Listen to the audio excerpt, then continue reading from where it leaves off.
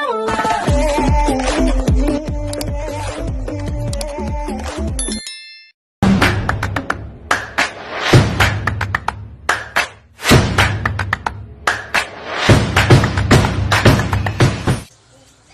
guys, my name is Amina de Guzman. My name is Happy Kent Alcantara. My name is Jiro Nakora. And now, we're going to talk about direct variation.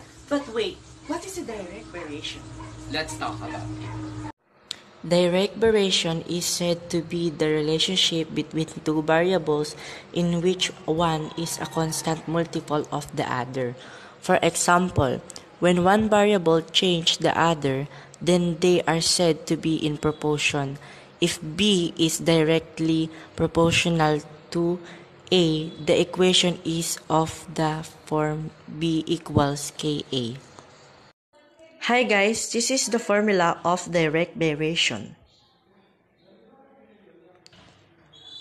y sub 1 over x sub 1 equals y sub 2 over x sub 2.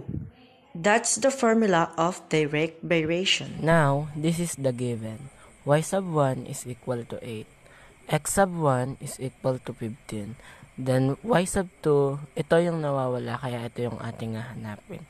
Then, x sub 2 is equal to 13. Para makuha ang y sub 2, magka-cross multiply tayo.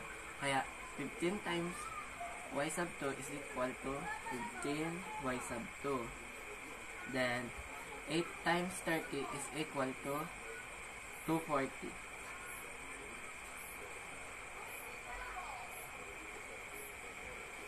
Then, i-divide lang natin siya katabi ng y sub 2, which is 15.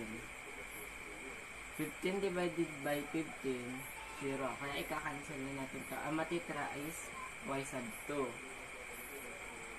Yung 240 din, i-divide sa 15.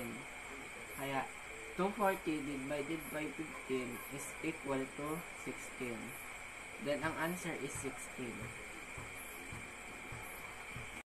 Thank you guys for watching. Don't forget to like, Share Subscribe! and click the notification bell para hindi kayo malate sa mga panibagong videos.